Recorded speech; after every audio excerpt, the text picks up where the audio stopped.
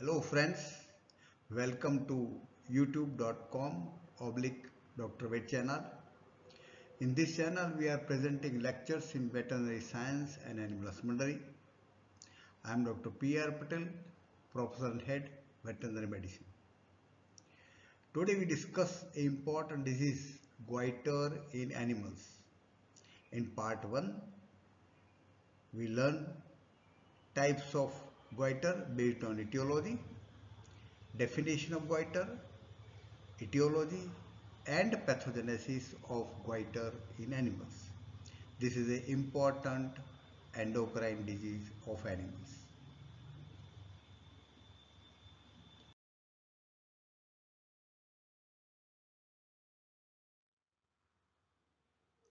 Goiter in animals. Goiter is a non-neoplastic enlargement of the thyroid gland. Here enlargement of the thyroid gland is that but it is non-inflammatory and a non-neoplastic. There is no tumor, no inflammation. There are some etiologies which gave the name to the goiter. Endemic iodine deficiency diseases. It is due to iodine deficiency in some of the geographical areas. In India, it is a sub-Himalayan region. Endemic because the number of cases are constantly occurring in particular geographical area due to iodine deficiency.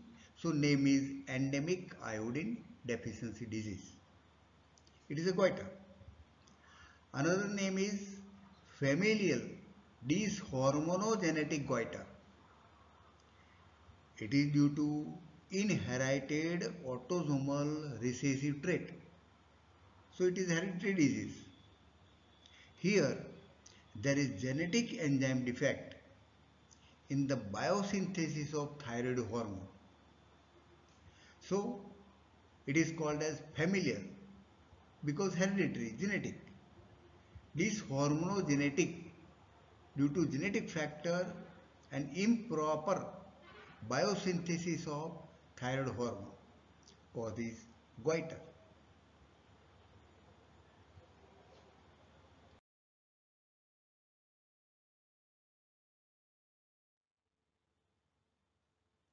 The goitrous condition occurring in foals, it is named as congenital hypothyroidism and another name of that is dysmaturity syndrome of foals.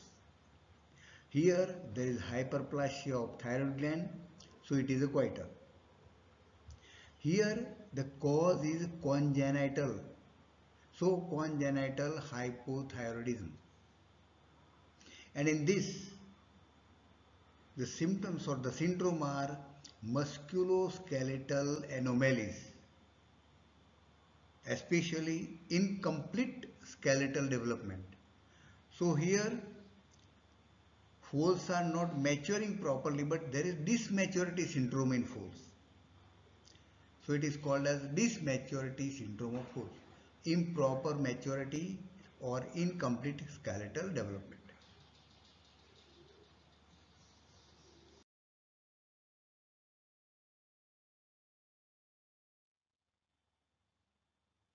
Friends, we see here definition of goiter.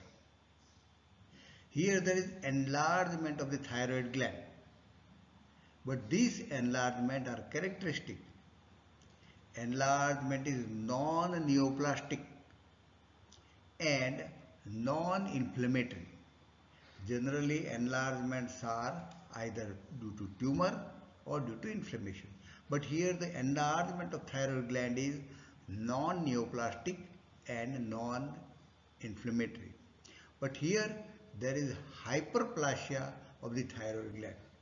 So goiter is a hyperplasia enlargement of the thyroid gland. Any substance or condition that affect the normal thyroid hormone metabolism produce an enlargement of thyroid gland.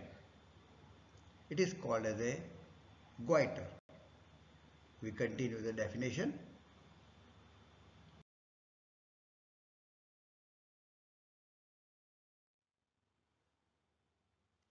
Continue the definition.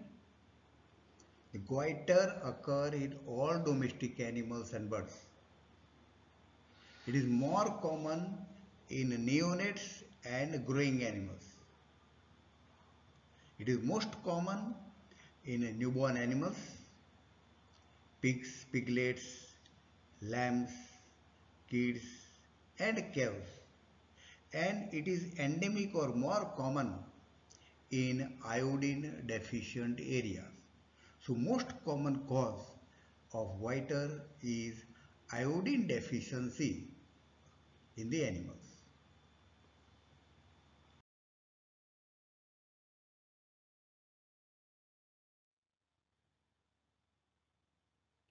Here we study etiology of goiter. You know that goiter is the enlargement of the thyroid gland. The etiology may be idiopathic, means it is an individual problem. Certain individuals are suffering and certain are not, idiopathic. Another etiology is in utero iodine deficiency or excess. If the dam is suffering from iodine deficiency or iodine excess, then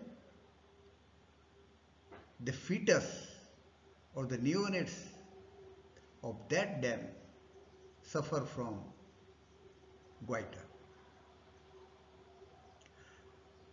Iodine deficiency is the most common etiology of goiter.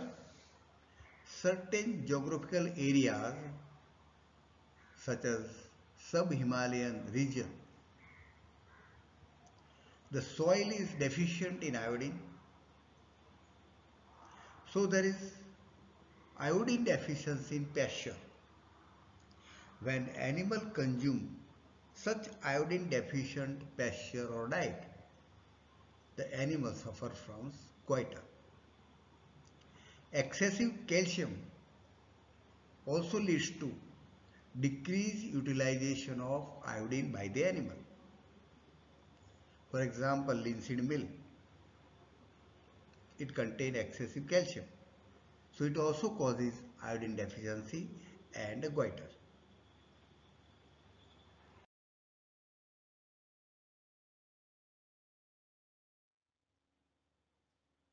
Continue with the etiology of goiter. Not only the iodine deficiency, but iodine toxicity also causes goiter.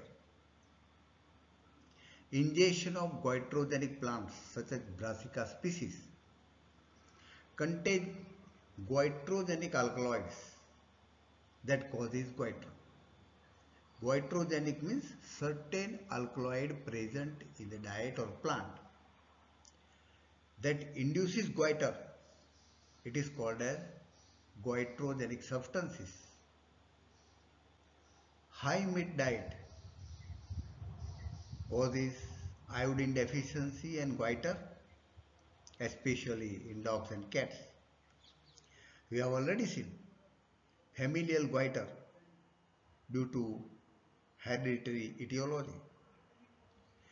Congenital hypothyroidism is observed in foals and that causes dysmaturity syndrome in foals. Improper skeletal development, dysmaturity in force.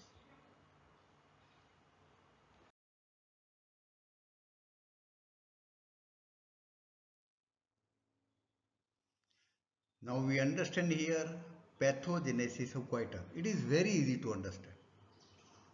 We have seen many etiology, substances or condition that affect the production of normal thyroid hormone. So basic thing is an agent that affect the production of normal thyroid hormone. The result is reduction of thyroid hormone synthesis that leads to reduction of hormone in the circulation So reduced level of thyroid hormone in the blood circulation.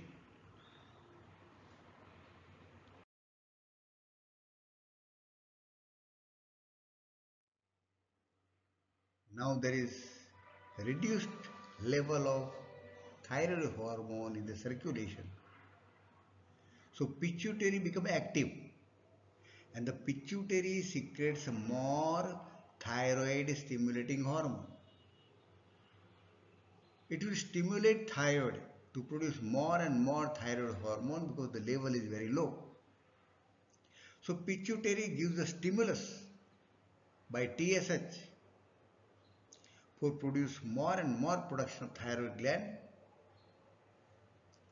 but the thyroid is unable to produce sufficient thyroid hormone. So the thyroid gland cells become hyperplasia and there is hyperplasia of thyroid gland. So there is enlargement of the thyroid gland and development of the goiter. Here there is non-neoplastic and non-inflammatory enlargement. It is a hyperplasia of the thyroid gland. So there is increase in size about two folds or sometimes three folds of the thyroid gland and that we call it as a goiter.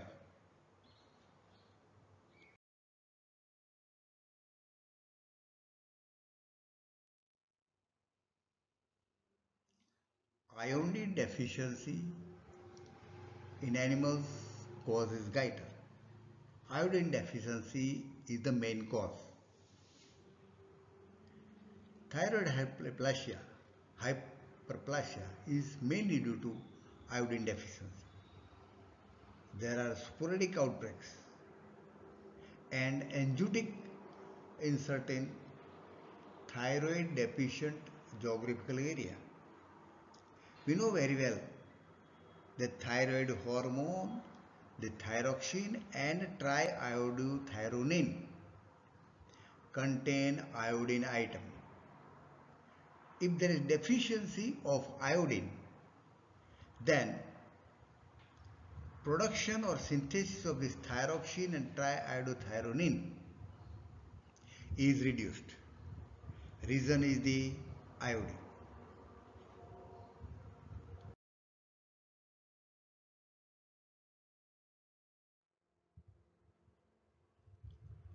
Deficiency of iodine causes reduced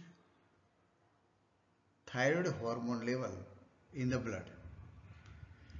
Pituitary secretes more thyroid stimulating hormone to produce more thyroid hormone. And this stimulates the hyperplasia of the thyroid gland and development of the goiter. The same pathogenesis work here and it is most common in newborn animals. Pigs lambs cows especially in iodine deficient areas. So it is called as enzootic enzootic.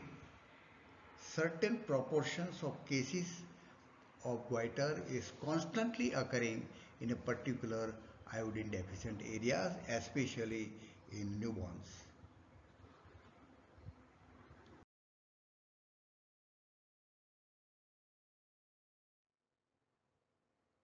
Friends, goiter is important endocrine disorder. Main cause is the iodine deficiency. Please share this information to veterinary students and veterinarians. Subscribe the channel to promote the channel. Press notification bell button. If you like, press like button. Thank you very much for observing this video. Next time we'll come with part 2 diagnosis and treatment aspect of goiter in animals. Thanks.